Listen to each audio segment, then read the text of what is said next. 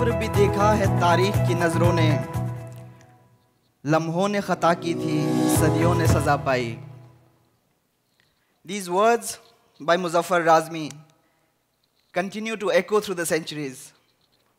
Baghdad, a population, a city, a capital with a million population, whose army consisted of over 60,000 soldiers, was turned into ashes at the hands of the Mongols in 1258 AD.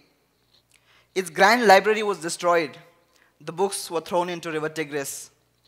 Every structure that once stood glancing at the sky was demolished into the ground. Philosophers were hanged, women were raped, children never lived to see the light of the next day. Many more countries throughout the course of history, which were once a center of learning and trade, where cultures mingled, were thrown into the dustbin of history as they could never recover from the plunders and massacre of war. This trend of destroying culture whether it's intentional or collateral damage, continues even in today's world. Due to the recent civil war in Syria, six out of six UNESCO heritage sites have been destroyed. 50% of the population has been displaced, and over 12% of the population either injured or dead. War has ravaged countries beyond recognition. And we needn't look further than Kargil to see the horrible effects of war on a people. I was one of the hundreds of children who witnessed the dreadful Indo-Pak conflict of 1999. Although just a seventh grader at that time, I still vividly remember that massacre it caused, the deaths, casualties, the damage to property, and even the mental trauma, which is immeasurable. The damage to infrastructure was catastrophic. Some people did not even have a proper roof over their head, not a decent meal for their children. The national media discussed the Kargil war at length, but not even once was there a story on the hardships and the plights of the civilians. A lot is lost in a war. But we overlook something far more important. More than anything, we lose our identity, our culture in a war. And Kargil wasn't any different. What is the first thing that comes to your mind when you think about Kargil? War, right? Kargil today has become synonymous with war. The media has portrayed Kargil as a place ridden by war. And for good reason, I suppose, because it has survived wars of 1962, 71, and then in 1999. But Kargil wasn't always just known for this. In the ancient times, known as Purig, it was a thriving cosmopolitan trade center on the great Trans-Himalayan Silk Route. It was a melting pot of cultures, languages, religion, and most importantly, ideas. Traders and merchants from all over the world and India used to come to Kargil from places like Central Asia, China, Kashmir, Punjab, and even from the far west they would come to Kargil with their goods and they would break bread together. Even today, there are six different ethnic tribes living in Kargil with their own unique traditions. But of course, it's not easy to live in a frontier town like Kargil. In today's time, when India is launching space missions to Mars, we in Kargil are still struggling with the basic facilities of internet, mobile, and road connectivity. Unemployment is on the rise, Industries are scarce. Opportunities are minimal. The constant border conflict and the image as a war zone hasn't really helped the situation. So in a scenario like this, which has lasted for over six decades, the people have lost respect and appreciation for their own culture, their social identity. And this, I believe, restricts any kind of mental, physical, or infrastructural development in a society we have an identity crisis. After the 1999 war, I was sent away from Kargil to pursue my studies, which is when I realized the importance of my culture, my identity, where I come from. You know, one must take pride in their own culture because a tree is only as strong as its roots. So from an outsider's perspective, I was able to understand what Kargil really stands for. And at the same time, from an insider's perspective, I was able to understand what we have lost, what are the real issues, and what we need to change. So my circumstances gave me an opportunity to make an attempt to rebuild this fallen metropolis. But why do we need post-war restoration for communities? Simply to rebuild the confidence in the people, in their culture, in their identity. To start a restoration process, we need to start a conversation. For us, this conversation started with a project we did called Unlock Hundarman Museum of Memories. Hundarman is a 500 year old abandoned settlement in Kargil, which used to be a thriving trade center on the Silk Road.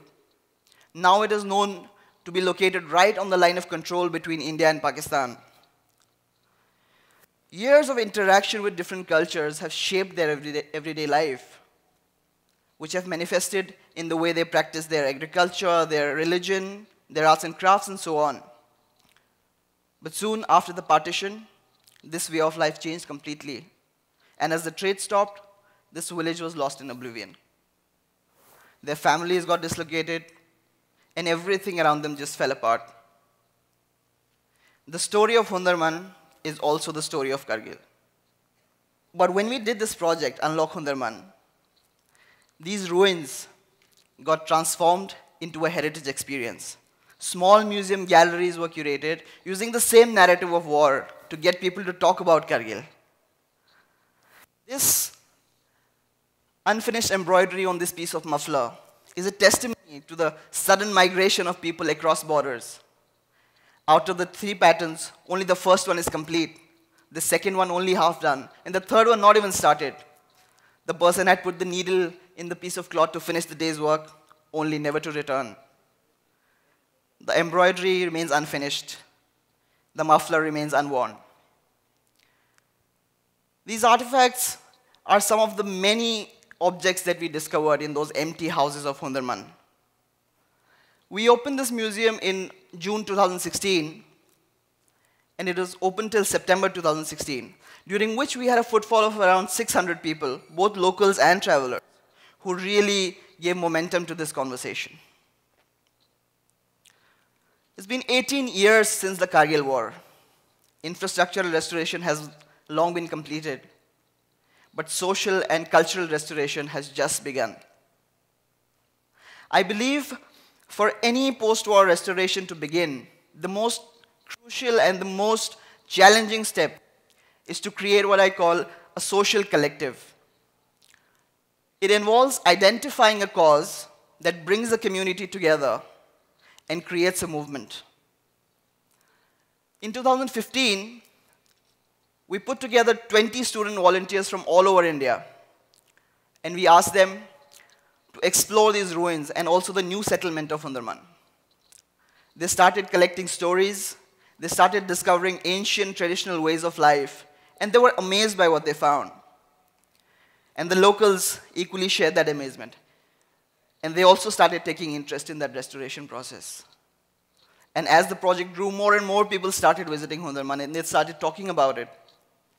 So soon the community came together and they also started taking pride in, that, in those old relics and those old objects which they had discarded otherwise years ago.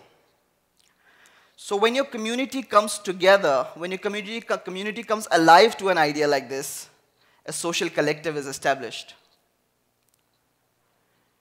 Now the conversation had started, the social collective established, but now the challenge is to sustain it especially within the community? And this is a question that was asked to me oftentimes by the community when we were working there. We are still working there. So why do we need to save these ruins and why do we need to collect these old, uh, you know, old objects? So there are two sides to this coin. One is that people love to hear stories. No matter how indifferent we are to our own heritage, we still want to know where we come from. And the second is that by restoring our culture, we can generate a new source of income. So by giving them an alternate source of income to the already existing ones, we gave them a reason to think about their culture in a different way. So what we did was that we tried to empower the community to lead the restoration process.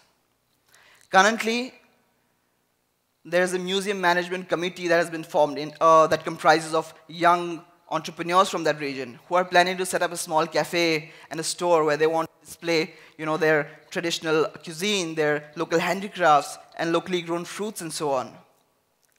This is a huge leap for Hundarman and also for Kargil. Today, Hundarman is in the top five must-see places in Kargil when you visit. And now when people talk about Kargil, it's not just about the war. By restoring, by, by restoring its heritage and culture, the people of Hundarman now have a renewed hope for prosperity. They've started looking at their heritage as an asset rather than a liability. We do not look at heritage as an object to be kept inside and preserved inside a museum. Rather, we look at heritage as a continuous moving chain of interlinked events that we are all a part of. Conservation processes can only be successful if heritage belongs to people. We revived something intangible which cannot be touched but can only be breathed in. In the end, I would just like to leave you with this thought. War ends for governments, never for people. Thank you.